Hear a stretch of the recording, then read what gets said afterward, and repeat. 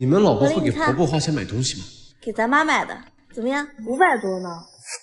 你让我一个老太婆穿这种衣服，你安的什么心啊？一片好心啊，妈，您不喜欢，这怎么办啊？也退不了了。老婆，要不你还是自己留着穿吧。儿媳妇捡婆婆不要的衣服，我这过的什么日子呀？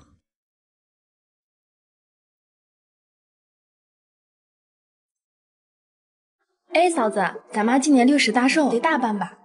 礼物我早就准备好了，那新车十好几万呢，我自己都还没车呢。我又不会开车，我要它干什么呀？那不会您就学呀。我这么大年纪了，你让我学开车？没事儿，您慢慢学，车我先替您养着啊。哎，嫂子，你真是打的一手好算盘，你这是说是送给咱妈，还不是你自己开？哥。咱妈六十大寿必须大办，办什么办？一哥挣钱多不容易啊，咱妈会心疼的。我看心疼钱的是你吧，儿子，你看见了吧？你娶的好媳妇，嘴上说的好听啊，其实她是一分钱都舍不得给你妈花呀。我看见了，就是我让她这么干的。反正她不管给您买多少东西，花多少钱，您都不会领情。老婆，你买车厘子了？啊，妈前几天说想吃，明天过节正好给她带过去。啊，没给我丈母娘买吗？现在太贵了，等看降价吧。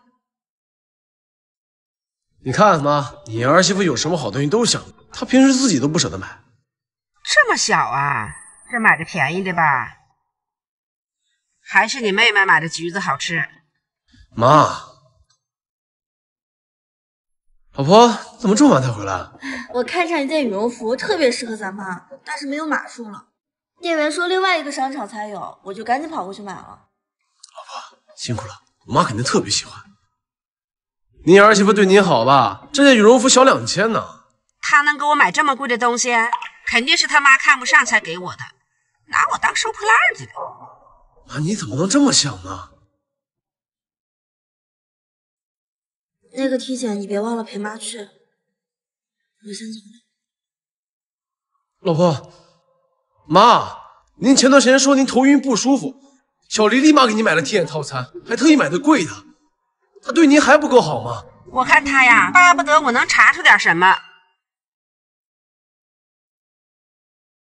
运气不错，查出来的早，做个小手术就行。谢谢大夫。谢谢。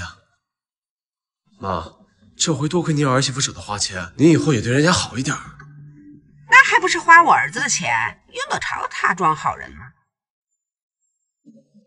妈，您真是，您怎么不能把人往好处想呢？老婆，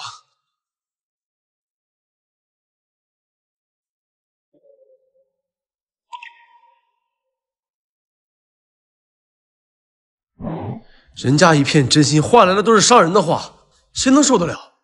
那她是你媳妇儿孝敬我本来就是应该的嘛，没什么是应该的。妈，小黎嫁给我之前没喝过您一口水，没吃过您一口饭，她不欠您的。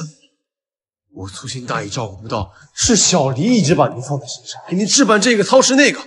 可是您，妈，我要是嫂子呀，才不会干这种出钱出力不讨好的事呢。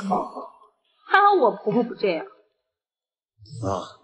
每个儿媳妇进门的心都是炽热的，但您一瓢瓢凉水浇下去，再热的心它也会凉的呀。没有血缘的关系，真心更为宝贵。